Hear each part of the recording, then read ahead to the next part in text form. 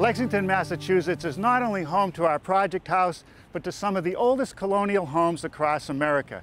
And over the last 300 years, this boxy style home has remained at the heart of American architecture. And yet, adding to the front facade was neither common or accepted until the 1800s.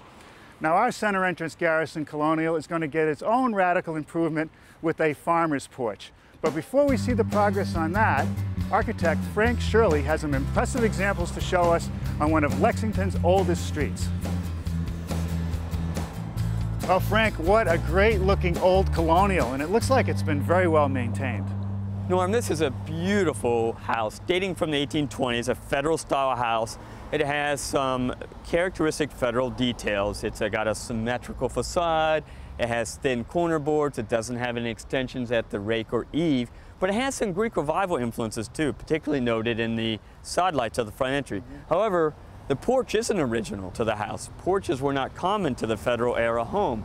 The porch was added in the mid 1800s at the high end of the Greek Revival style, which is what the design of the porch is. Right, so even though the house and the porch are two different uh, periods of style, it looks perfect. It's beautifully executed. It's a gorgeous house and a wonderful public facade for this neighborhood.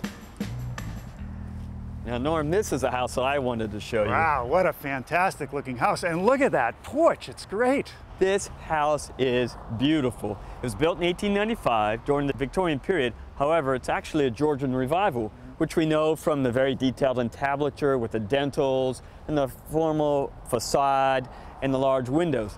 But with this house, this porch was original, extends across the entire facade and actually pulls away enough to create an outdoor room. Right, well on our 1966 Garrison Colonial, we're gonna add a farmer's porch.